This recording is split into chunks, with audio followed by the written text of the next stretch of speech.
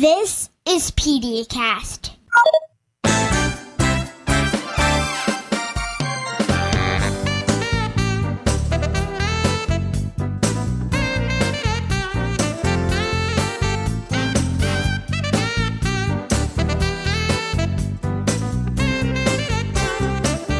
Welcome to PediaCast, a pediatric podcast for parents.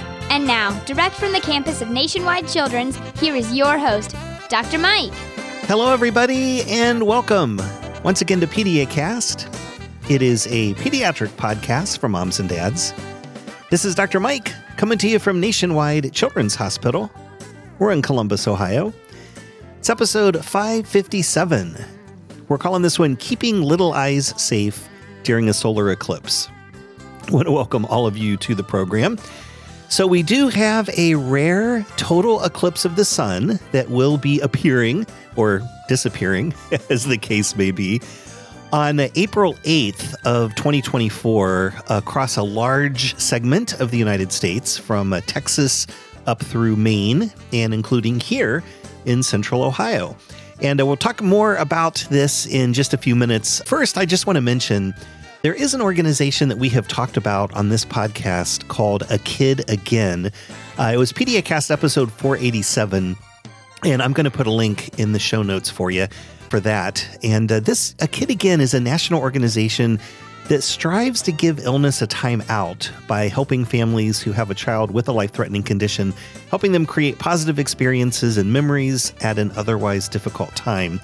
And what this organization does is it provides uh, free of charge trips for kids with a really complex medical conditions to local amusement parks and zoos and science museums and just, you know, fun stuff that all kids should get a chance to do. And the reason I'm bringing them up is that my family and I, my adult children, went to Cedar Point this past weekend and they have an event called the Winter Chill Out, which which supports a kid again. All proceeds for ticket sales uh, go to that organization, and uh, all the folks that are working at Cedar Point that day are doing it voluntarily since it is a fundraising event. And of course, the rides are not open because it was very cold on the shores of Lake Erie. Cedar Point is an amusement park that juts out into Lake Erie on a peninsula. And so it was very cold, but it was such a cool day. It was basically seven hours of behind the scenes tours. So we went in the maintenance sheds, the, the train uh, yard, and the building where they work on the big steam locomotives. And they had folks there with, you know, they had roller coaster cars all taken apart. And basically, they were telling you all about their job and what they do. And they were excited to do that. And that you had opportunity to ask questions. They also had the costuming shop open their sign shop, the landscaping folks. So it's really in and out of a lot of backstage sort of areas at an amusement park. And I'm mentioning this because a lot of folks don't know about this, and they do it every winter. I'll also put a link in the show notes to the Winter Chill Out event at Cedar Point in case you might be interested in uh, doing that next year. It's for a good cause. And if you live in the Ohio area or are in, you know, within a day's trip to go to Cedar Point, it might be something that you would want to look into because it was really a lot of fun and a great day spent with family. Speaking of great days spent with family, there's one coming up here April 8th. 2024, which we wanted to get this out well in advance of that actual date.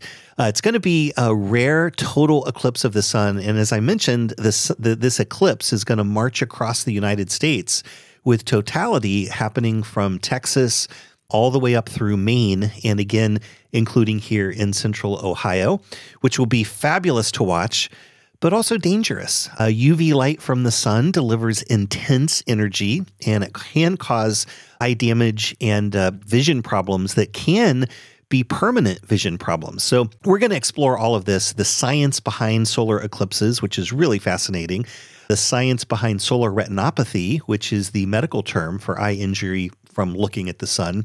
Uh, we'll talk about strategies for watching a solar eclipse safely and what to do if your child accidentally looks at the sun without protection, signs and symptoms to watch for, and when and where to seek help if your child or you develop any concerning visual symptoms or eye symptoms after the solar eclipse. But even more importantly, we'll give you some uh, safety information on how to prepare for the eclipse and uh, how to watch it in a safe manner. Our guest today is Dr. David Rogers. He is Chief of Pediatric Ophthalmology at Nationwide Children's Hospital, so he will be joining us shortly. I do want to remind you that you can find our podcast wherever podcasts are found. We're in the Apple and Google podcast apps, iHeartRadio, Spotify, SoundCloud, Amazon Music, YouTube, and most other podcast apps for iOS and Android. Please do subscribe to the show if you like it so you don't miss an episode. And also, please consider leaving a review wherever you listen to podcasts so that others who come along looking for evidence based child health and parenting information will know what to expect. We're also on social media. We love connecting with you there. We're on Facebook, Instagram, Threads, LinkedIn, and Twitter X. Simply search for PediaCast. We also have a contact link over at pediacast.org if you would like to suggest a future topic for the program. Also, remember the information presented in our podcast is for general educational purposes only. We do not diagnose medical conditions or formulate treatment plans for specific individuals. If you're concerned about your child's health, be sure to call your healthcare provider. Also, your use of this audio program is subject to the PediaCast Terms of Use Agreement, which you can find at pediacast.org. So let's take a quick break. We'll get Dr. David Rogers settled into the studio, and then we will be back to talk about keeping little eyes safe during a solar eclipse. It's coming up right after this.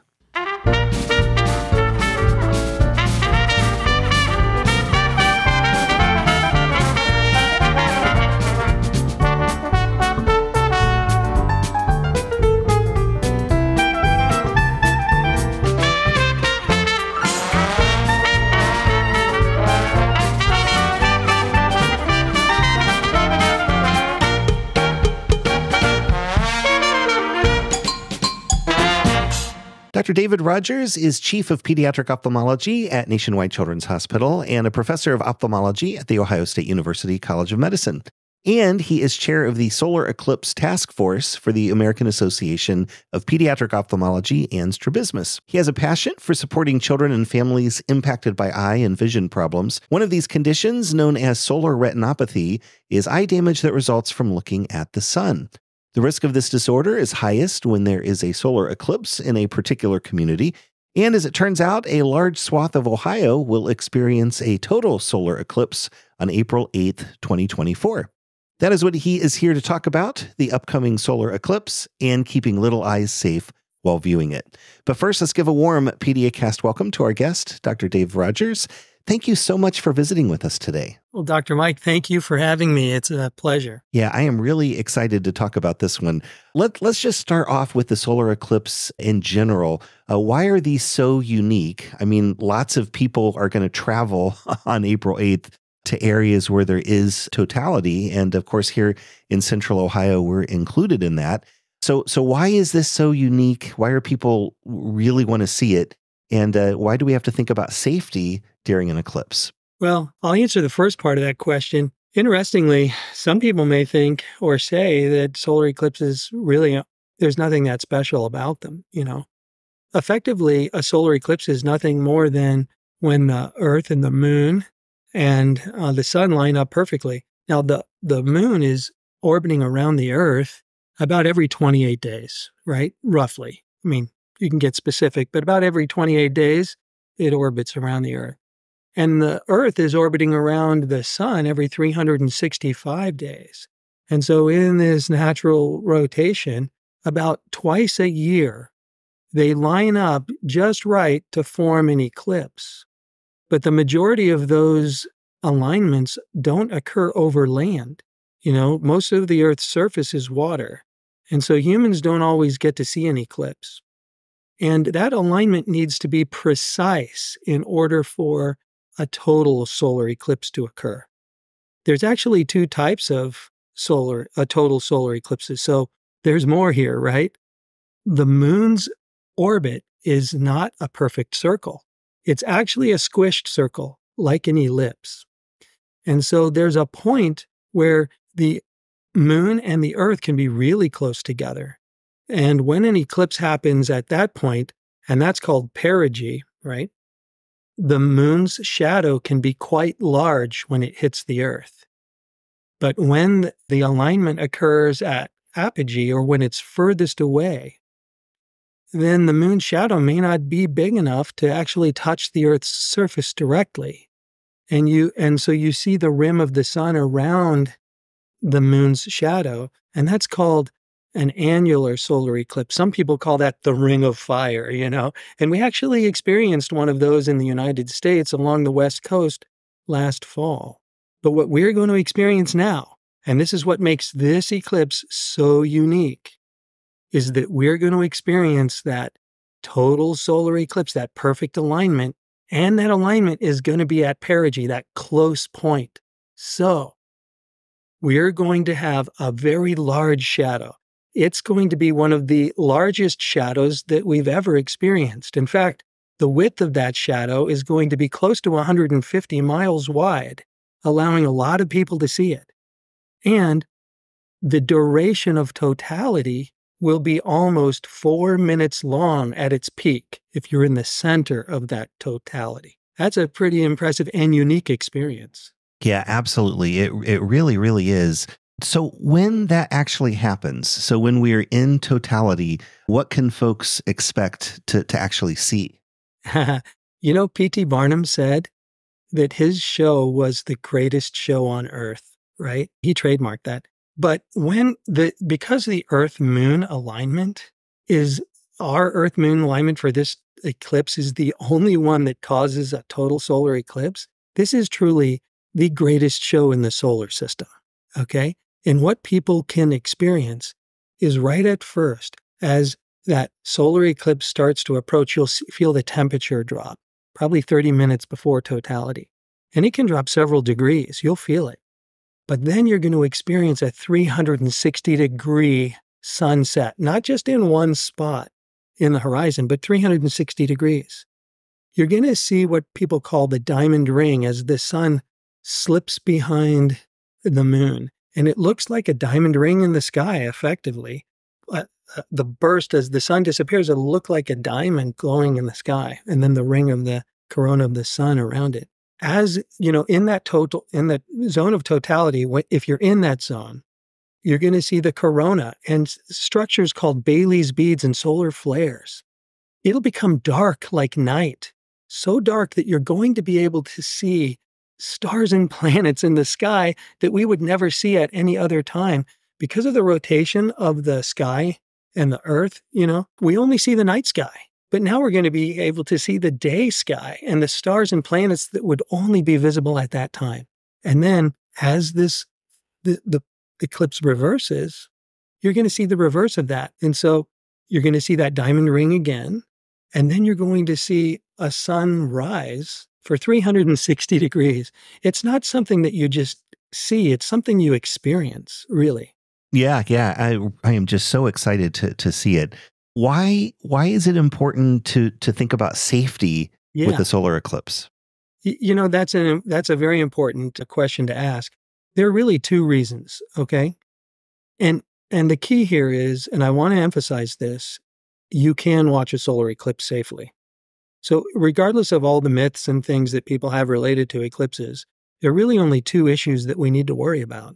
Number one is looking at the sun directly and causing this issue called solar retinopathy that you referred to at the beginning.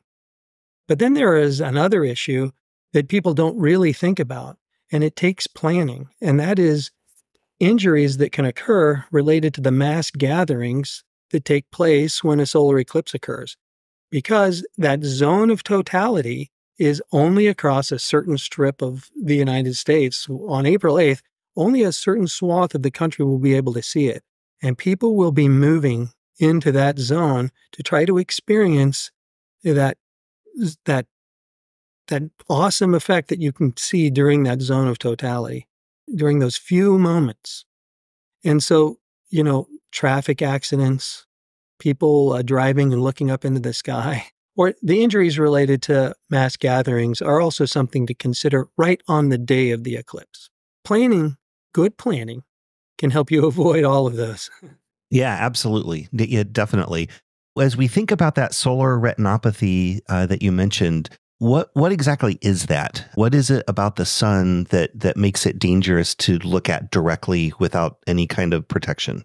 Well, you know, solar retinopathy is really a problem caused by ultraviolet or prolonged exposure to light or high intensity light that's focused onto the back of the eye, the surface called or the structure called the retina. And a lot of people have used analogies of focusing a lens onto a piece of paper, but that's really thermal energy. And what's truly taking place inside the eye is what's called photooxidation. Okay. And these are big words that just mean that, you know, the light, the eye can transmit wavelengths of light. And it's those ultraviolet and infrared wavelengths of light that are damaging to our eye. Those are like laser lights. We can't really see those wavelengths of light because they're beyond the visible spectrum. Okay. Now, on any particular day, we walk out into the sunlight and it, it doesn't bother us. It's not harmful. And in fact, on the day of a solar eclipse, the sun is no more dangerous than any other day of the year. The only problem is that it's interesting to look at. And we're all going to be trying to catch a glimpse, right? And so it's on any normal day, if we tried to look at the sun, these natural defensive mechanisms that we have to squint and feel pain and look away protect us. We don't get solar retinopathy the day before and after the eclipse. But on the day of an eclipse, that's when it's really dangerous because those repeated glimpses up at the sun can build up and cause injury, that photooxidation, not, not really thermal energy. Those wavelengths absorb into the retina and within seconds, and let me emphasize seconds, those wavelengths of light can cause damage to photoreceptors in the back of the eye. And those photoreceptors, they don't repair themselves. They cannot regenerate. And that injury can become permanent and cause vision loss. Yeah. And as we think about uh, children in particular, they don't always understand that it is dangerous to do this. And so they're more likely uh, to, to actually look several times at the sun trying to see what their parents might be talking about. Are, are their eyes any more susceptible to damage, or is it just that kids are more likely to get this because they aren't necessarily paying attention to directions? Yeah, I want to be cautious in answering this particular question, Dr. Mike, because there are some theories out on the internet that would say that the child's eye, because the crystalline lens is so clear, of course, as we get older, the lens of the eye will become cataractous. And grandma is getting her cataract removed. You know, grandma and grandpa as they get older. And, and if we all live long enough, we'll, our lens will become a little bit dark and we'll need to, we'll need to have our lenses re- replaced or uh, removed with a more clear natural lens or artificial lens to replace our natural lens. But, but the child's lens is very clear. And so it theoretically could transmit more of those wavelengths of light. And so there is this thought or prevailing theory that children are more susceptible. But I want to make it extremely clear here. That does not mean that an adult can look at the sun. Okay. There is no age or individual or person that has some built in natural immunity and can look at the sun. Everyone needs to have a plan to look at it safely. So maybe, maybe theoretically, children are uh, at an increased risk, but that is not proven by science. And so then how can we watch it safely? What what are some things we need to to keep in mind? Great question. So I've tried to emphasize the need to have a plan. And first, it's make sure that you know where you're going to be on that day and get there in a safe way, right? Get there early, get there in a safe way. And, and if it's not a, a good spot because of cloud cover or something, then make plans to move your, to your second location. But there's three easy ways to look at an eclipse. And one is to use a pinhole occluder. That's an indirect way to look at the sun. And those can be really fun to make, especially for families the simplest way is to just take two pieces of paper and stick a pinhole in one of those pieces. Shine, uh, you know, and uh, allow the, the sunlight to shine through the pinhole onto the second piece of paper. And then that allows you to see, based on the shadow of what's happening up in the sky, the shadow of the sun will be on that second piece of paper. And you can see all the phases of the eclipse as they occur. There are really elaborate ways that you can uh, see in diagrams on the internet. You can look those up uh, to, to make really cool solar eclipse pinhole occluders and viewers. And, and they, they can be really fun to build as families as you prepare for the eclipse. Now, then there are direct ways to look, right? And those would be using eclipse filters.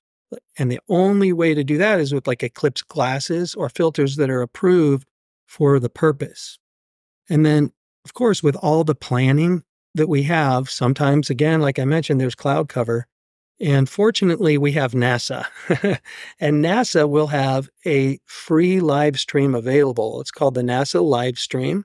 You can go right to their website and click on that. And they are up there above the clouds. And they will give you a direct view of everything that is happening right as it's occurring right over your head that's probably the safest way. yeah, yeah, absolutely. We are going to have a link in the show notes for how to make that pinhole projector that you were talking about from the NASA Jet Propulsion Laboratory. And it's oh, a really cool page. It's got videos and shows you exactly how to go about making one of those. So uh, please check that out. It's over at the uh, the landing site for our podcast, pediacast.org. And this is episode 557, so you can find that easily. When we think about um, Eclipse glasses, there is a safety standard that you have to make sure that that the glasses make. Yeah. How how do we know that that a particular set of Eclipse glasses that we have are, are safe to use? Well, that standard that you're referring to is called. Some people refer to it as the ISO standard, but that means or that stands for the International Organization of Standardization. And to to actually you know be safe your solar eclipse glasses must have this ISO rating on them okay now if you were around in 2017 when we had another solar eclipse that passed through a, a different part of the United States although we were in an area where we could see the partial phases of that eclipse we were not in the total the area of totality. There a lot of people were looking for solar eclipse glasses at that time and unfortunately they were looking at the last minute. So imposters do exist. You will find that not all solar eclipse glasses out there that have the ISO standard on them do actually meet it. Unfortunately, again, I will say it, imposters exist. And so we have uh, there uh, a resource you can look at. It's pro- provided by the American Astronomical Society. Okay. And they maintain a list of reputable providers or, or distributors of solar eclipse glasses. You can go to their website and they maintain that list of reputable distributors and suppliers of solar eclipse glasses. It's important to make sure that uh, your supplier it comes from that that list. Yeah, and we'll put a link to that in the show notes so folks can find that really easily over at pediacast.org. A lot of local organizations that are that are trustworthy are likely to have Eclipse glasses um, that they give out that do meet those standards and are by those manufacturers.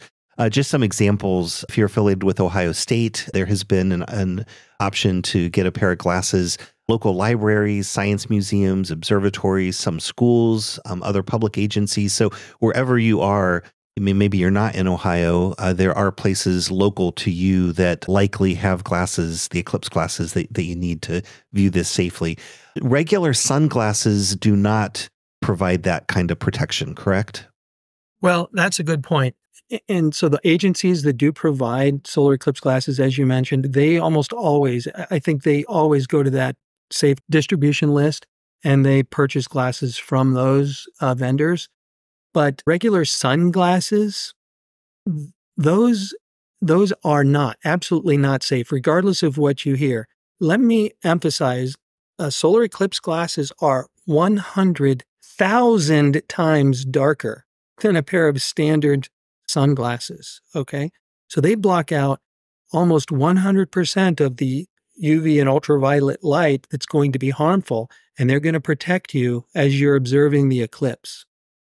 So, you may have read on the internet about other things that you could use while you're watching the eclipse and that they, they could protect your eyes. Some people will suggest stacking a pair of sunglasses. Some people have suggested like using neutral density filters, various neutral density filters they may have on their camera smoked uh, smoked glass.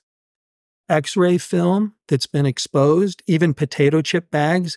And you'll even see things about how you could use emergency blankets, those uh, little thin sheets of reflective emergency blankets. DVDs have been suggested, but it's important to understand that these are not safe and they do not block all of the ultraviolet and infrared light that will cause this solar retinopathy. There is only one lens that, aside from a solar eclipse uh, filter that's ISO certified, and NASA approves this as well. So, a welding glass shield that is rated 14 or higher can be used as as a filter to look at the sun, but that's the only other filter. And so you really do want to look for this ISO and it's 12312 2 certification. So make sure that the glasses that you and your kids have do really do meet that criteria. And then you also want to uh, check the integrity of the glasses, right? Make sure there's no scratches or tears or pinholes in those. That's a good point. Some people have said that you cannot reuse a solar eclipse glass or a pair of glasses that you had used in a previous eclipse, for example, in that 2017 eclipse. And studies have been done to say that's not entirely true as long as the integrity of the lens is intact and there's no scratches or breaks or crinkles. You didn't bend the lens itself. So if the filter, a paper, or the, the material in the lens itself is intact, then it should be safe. So we have our ISO certified Eclipse glasses for everybody in the family. How can parents then ensure that their children use those Eclipse glasses correctly? well, I was talking with an emergency room physician, and I want to credit him, Ryan Squire, because I hadn't heard of this before. And he's an emergency room physician at OhioHealth. And he gave the analogy that if your child is capable enough to understand how to protect themselves from scalding hot water, then they are competent enough to understand how to protect themselves and view a solar eclipse. And I really like that analogy that he shared. Okay. So that, that's a good benchmark to use. So if you think your kid, your child can protect themselves from getting burned with hot water, then it's okay to start, you know, explaining to them this concept. Okay. But it has to be done with observation, right? You don't let your kid play with hot water. You you you supervise them, okay? And you're going to need to supervise them when they're ob- observing the eclipse because we've all glimpsed at the sun, right? But we don't do it repeatedly. And the eclipse is a time when they're going to want to look at it multiple times. So if you catch them doing it once, it's going to be okay. But make sure that they follow the protocol. And there are steps on how to use solar eclipse glasses. Okay. This is eh, pretty simple. And although the steps can be quite, they seem quite, I guess, technical, and I'll go through those, it can be simplified. And the simple steps are just this. I'll say that first. Look away, put your glasses on, enjoy the eclipse, look away, take the glasses off. So look away, put them on, watch the eclipse, look away, take them off. That's it. It's it's really just that simple. But these solar eclipse glasses come, you know, probably flat, and you have to fold them so that they fit comfortably on an adult or a child, and they can be adjusted. Make sure they fit correctly and that they'll stay in place. When you want to, when you're out there and you're in the field or in the backyard or wherever your location is, your safe location, and it shouldn't be in the middle of a street or a turnaround, you know. You stand, you know, facing the eclipse, but you're looking down. And then you put the glasses on and you wear them over top of regular glasses or contact lenses. They, they're designed to be worn that way. You put them on and then you just look up. And like I said, you enjoy whatever you're, you know, you watch as long as you want to watch. But you never put them on or take them off while you're looking at the sun. So to take them off, let's say you you want to look away, go to the bathroom, get something to eat, you look down and then you take them off. And that those are the steps. Very important. And so they can go on the outside of your regular glasses if you wear regular glasses. They just fit right over top right over them. top. Okay. Yeah. Now, what about during totality? So, if you are in the zone of totality, you mentioned that you see that diamond ring at the beginning of totality and you see it again at the end of totality. Can you take your solar solar eclipse glasses off during totality? Very important point. And this brings up some safety issues too. That's the reason why people flock towards that zone of totality because this is the one time that you can take the glasses off and stare at the at really the sun's atmosphere. You're really not seeing the sun, right? You're seeing the corona, or really the solar flares in the atmosphere of the sun as it becomes visible around the moon. And it's a fascinating experience to see. But you have to know, and there are apps out there that the duration of totality in your area, or be ready to put your glasses back on immediately when that diamond ring starts to appear again. Okay. And that that is an important point because if you are in an area outside of the zone of totality, even 99%, it's not safe to look at the sun. Okay. Just because it's dark. Let me emphasize this. Just because it's dark and it seems easier to look at the sun it doesn't mean it's safe. On a cloudy day, it's still dangerous to stare at the sun. Through the filters and sunglasses, it's easier, but it's still dangerous to look at the sun. Okay. Don't do it. Yeah, very, very important point. And then how how can families make sure that child I imagine these these glasses are designed more for an adult size face are there any tricks to getting the glasses to fit safely on a smaller face? Well, usually along the side of the glasses, there's different bend points, and they they they can bend at different areas, and you can you can adjust them and bend them so that they actually fit a narrower face. Okay, and I would suggest doing that and making sure that they fit before, or you've got them bent in the configuration you need them to be in. You know, before you're outside and and they're trying to put them on their face. And again, supervision, right? Supervision is key. Yeah, absolutely. Have you seen a total eclipse before? Have you I, have you witnessed one in person? I have not, but I will witness this one. yes, yes. That's going to it's just going to be so exciting and I know as chairman of the total eclipse committee for for the American Association for pediatric ophthalmology and strabismus, you must be really excited to move. And moving forward, there will be more total eclipses that affect other areas around the world, and uh, you'll have some expertise uh, with with uh, direct interaction with the solar eclipse. Yeah, I remember seeing my first eclipse though as a grade school child and making those pinhole occluders. And that's how we watched it because I didn't have solar eclipse classes at that time. But I remember as a, as a grade school student watching an eclipse. Fascinating. You know, speaking of, of schools, what are some ways that schools can participate in this event safely? Especially ones that may be in that zone of totality. And I know here in central Ohio, some school districts have said we're not even going to have school on, on that day. Although, you know, then you're then those kids have to count on their parents to help them see it safely. So, I mean, there may be an argument made for having school so that, that all the kids can definitely watch this in a safe fashion. Well, you know, I, I would like to reiterate again that the sun is no more dangerous on the day of the eclipse than any other day, other than we're going to be interested in looking at it. So kids play outside under the sun every day, right? They just don't stare at it. And I think with the correct plan in place, any any school could remain open and and develop a plan for their students to watch the eclipse together. Many students in 2017 did have viewing parties, for example.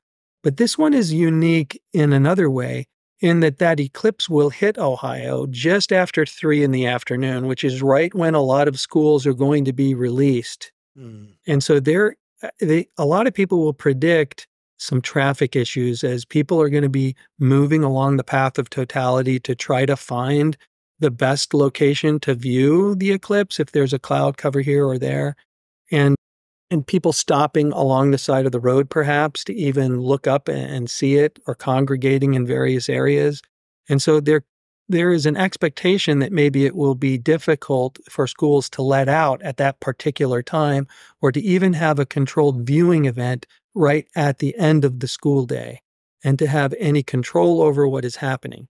So I think it's very fair and reasonable that many of the schools across the state have made the plan, that is their plan, for safe viewing to release early. Yeah, yeah, that that does make sense. I, and it's such a, a, unique day. I feel like even if you released early, it'd be really cool. I think for schools to sort of talk about the solar eclipse, maybe watch videos about it. You know, of course, talk through safety stuff, but really focus on the science. I think would be a, a great plan for that day if you are going to have school in session for at least part of the day. So, what if a child accidentally looks at the sun during a solar eclipse? Now, you mentioned, you know, if you see your, your kid doing it, say, hey, don't, and don't get too concerned if it's just once. But we do know it's a cumulative effect. And so, what, you know, how long is too long and, or how many times is too many times? I mean, what, what should parents be thinking about in, in terms of if they look down and see that their child is looking at the sun? Well, I certainly don't want to incite panic prematurely, right? But we all have this natural defensive mechanism that I mentioned that prevents us from staring too long. It's it's that repeated event again and again and again, I think that's going to get you or any child in, in a total solar eclipse phenomenon. But so it's going to be educating them, repeatedly educating them. And that's why supervision is key. You just can't allow your child to do this unsupervised. So I would caution every parent to be mindful of what their child is doing during the event and make sure that they have solar eclipse glasses available to them. Yeah, yeah, absolutely. What about the symptoms of solar retinopathy? What should parents be on the lookout for, especially if they see their child, you know, looking at the sun, you're, you're supervising them and saying, "Hey, don't look directly at it. Make sure your glasses are on." what signs would make them be concerned that there really is something happened?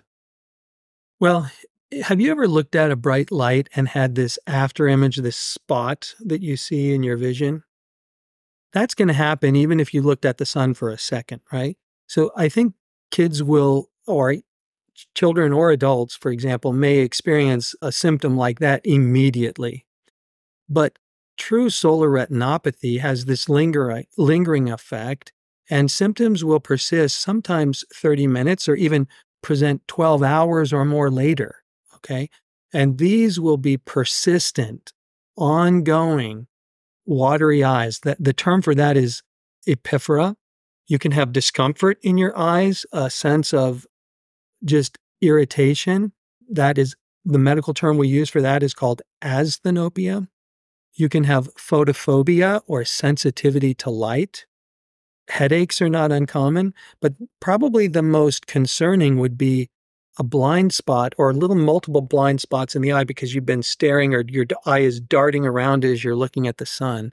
Little multiple blind spots in, in the center of the vision. And the medical term for that is called a scotoma. It's a blind spot, and it can be in one or both eyes if you were squinting, you know, using one eye at a time, but usually it's a bilateral phenomenon. If it's really severe, you may have a loss of your central color vision, or maybe even seeing things that the wrong size, like you think something appears smaller than it usually is. That's dyschromatopsia or metamorphopsias. And these can all lead to permanent vision loss. And again, if you're really staring and intently looking at the sun, those injuries can take just seconds to occur, honestly. But we don't stare at the sun for prolonged seconds. It's usually milliseconds that we're looking at the sun and then we get that discomfort feeling and we look away. When you say that the the vision loss is permanent, is there any so if if kids do have symptoms and they get is there any anything you can do to try to minimize the the a permanent damage from from happening? This is unfortunate, Dr. Mike. The answer is no. They're theoretical things. Remember, I told you that it was photooxidative damage? Mm-hmm. So people have thought that maybe antioxidants could help. Steroids have been tried, but steroids have been shown to, in this particular case, potentially cause a separate problem. and they can actually be harmful in the long run, leading to a problem called central serous retinopathy. That's a, another discussion and another mechanism. But they they aren't always as helpful as you might think. They're the honest and and straightforward answer here is time is the cure and it depends on the initial vision at presentation. So if your vision tends to be about 2050 or better on your initial evaluation with the ophthalmologist, then you're probably going to get better within months to as long as a year. But if your vision is worse than that, then it's probably going to result in a permanent loss of vision. Now, even if it is 20, 50 or better, even though you may recover a lot of vision, you may still end up having that tiny central scotoma or, or blind spot. Remember that scotoma means blind spot. So you may have a tiny little central blind spot, but you, you may functionally feel like your vision has essentially recovered. So uh, the, the bottom line is it's really best to prevent this from happening. Oh and making sure that you're yeah yeah yeah i mean the message should be loud and clear prevention is the the treatment yeah yeah. Yeah. And uh, so get those Eclipse glasses. Again, we'll have links in the show notes for you to to hopefully be able to find a place to get them and make sure that they do have the correct certification. So, how then can uh, parents and educators use this experience not only because of the excitement of the day, but really maybe to foster an ongoing interest in astronomy and science among children? Yeah. You know, we do have the Perkins Observatory up at Ohio Wesleyan University, a little plug for them, right? Although they're not going to have any April 8th events, they don't have anything scheduled there. Uh, they do have exceptional, you know, astronomical experiences for children. They have educational experiences all the time, and they are Central Ohio's premier observatory. But talk about the eclipse. Let me tell you some fun facts, okay? How's this one? Every year, the moon is slowly moving away from the Earth at a rate of four centimeters a year, right? So, at that rate, eventually the moon will be so far away from the Earth that it'll be too far away to produce total solar eclipses anymore. And humans on Earth will no longer be able to see this amazing phenomenon. So, there's something to consider. You know, this may be your last opportunity. Although, to be honest, it's going to take 700 million or what, 600 million years for that to, to occur. You should still probably get out there and see one while you can, because if you stay at one location, the chances of seeing a solar eclipse happening in one location is about every 375 years. So it really is a rare phenomenon and a unique opportunity. And once in a lifetime. It can be. It really can. And don't think that this is all bad, okay? Because of a total solar eclipse, there was a Dr. Meyer Schwickerath, okay? He was a German ophthalmologist. And back in 1945, there was this total solar eclipse that happened in Hamburg, Germany. And after that eclipse took place, this ophthalmologist noted that many of his patients had suffered a solar retinopathy, burns in their retina that left them with uh, permanent vision loss. And this was quite troubling to him. He lost sleep over this. And in one of those sleepless nights, he conceived the idea of photocoagulation or using light to disrupt the retina and he contrived the concept of using this light to treat retinal detachments. And four years later, he he built this contraption on top of the University of Hamburg hospital. And he used a telescope to focus light down into the operating room through mirrors and lenses so that he could perform the first photocoagulation of a retinal detachment in 1949. And because of that treatment, we now have our modern day lasers. You know? So it's not all bad. yeah, yeah. that is fascinating. I and I imagine today you couldn't even do something like that. Uh, can you imagine an institutional review approval. board? like, can we put a telescope on the roof and make a series of mirrors that go down in the operating room? That's not. Yeah, and the unpredictability today. of the clouds. Sorry, yeah, yeah, that's right. today. we really do appreciate you stopping by and talking to us today. Lots of links in the show notes for folks uh, to to learn more about this. Of course, we'll have a link to pediatric eye care at Nationwide Children's Hospital. NASA, as we've mentioned, has lots of uh, information and resources on this total total solar eclipse, and we'll put links to those in the show notes. Often Often NASA uh, provides great public service information and educational stuff, so we are happy to to include their their resources in our show notes. Uh, the American Astronomical Society, the National Eye Institute, the American Academy of Ophthalmology, as I mentioned before, the NASA Jet Propulsion Laboratory. And I actually wrote a 700 children's blog post during that 2017 eclipse, watch the Great American Eclipse safely. And so we'll put a link to that because all of the things that made it safe in 2017 also makes it safe in 2024. Well, let me put a plug in there for the American Academy of Ophthalmology and Strabismus website that has how to view a solar eclipse uh, safely and solar eclipse blogs on there for for uh, children as well. Yeah, and we'll we will definitely include that in the show notes uh, too. So, once again, uh, Dr. Dave Rogers, pediatric ophthalmologist at Nationwide Children's Hospital, thank you so much for uh, stopping by and uh, talking with us today. You're very welcome. Thank you for having me.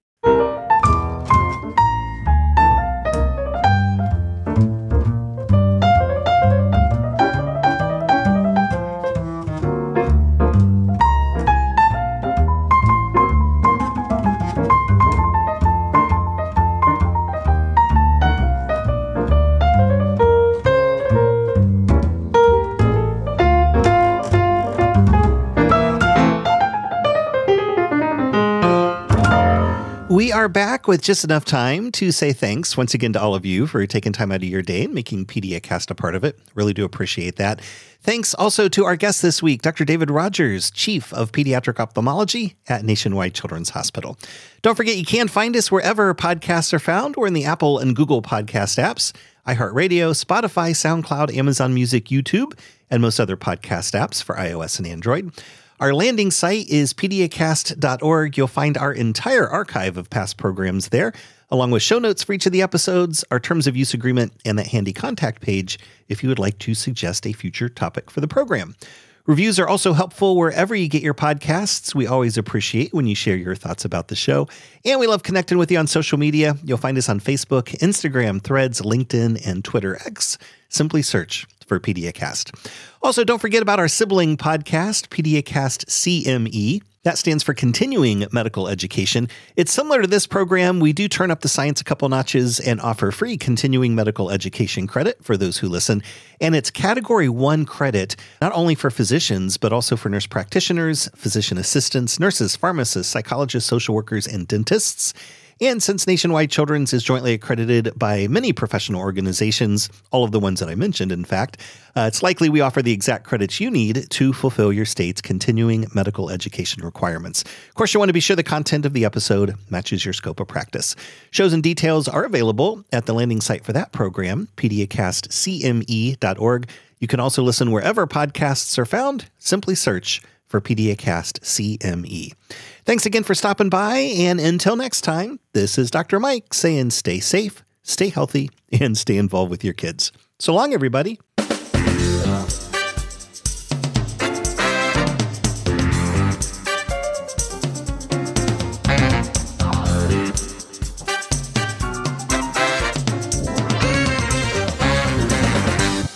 This program is a production of Nationwide Children's. Thanks for listening.